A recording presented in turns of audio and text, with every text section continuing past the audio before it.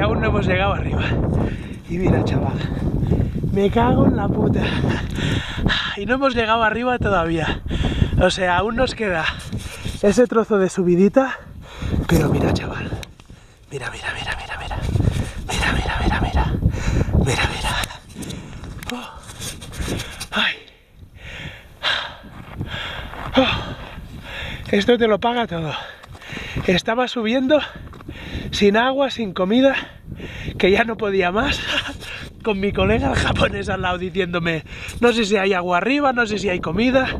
Vas- me dice, tío, vas hecho una mierda. Digo, no, sí, ya lo sé. Ay, de repente dices, "Oh, me diréis que no merece la pena todo el entreno, todos los sacrificios, uf, todo lo que te dejas por el camino para llegar aquí y ver esto.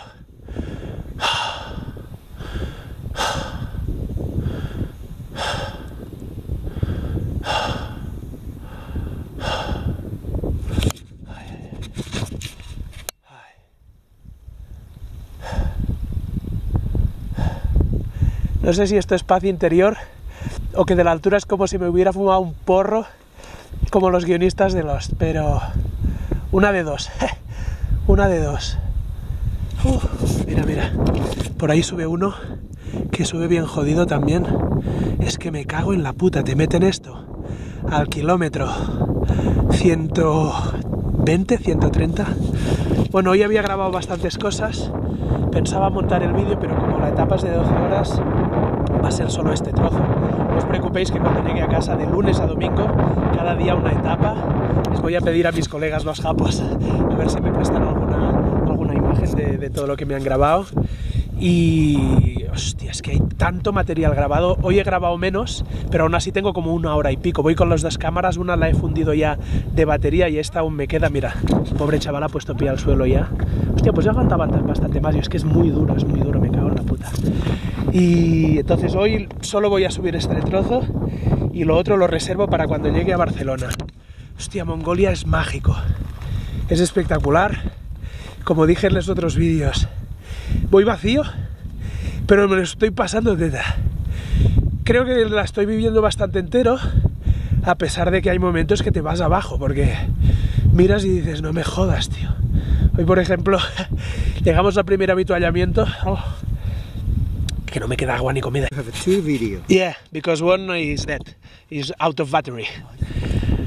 Y de repente llegas ahí y dices, hostia, primer avituallamiento, estoy mirando otro colega, ¡hey! y dices, hostia, me quedan, eh, llevo 30 kilómetros, me quedan 140, Nen, ¿cómo coño lo hago?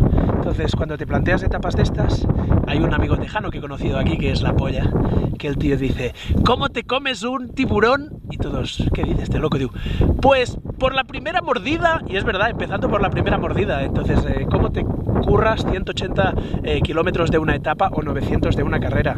Pues por la primera mordida o por la primera subida o por lo que sea, dándole gas, tirando y apretando. Entonces tú miras aquí abajo y dices, como dicen los americanos o ingleses, was worth y mereció la pena, joder que sí mereció la pena.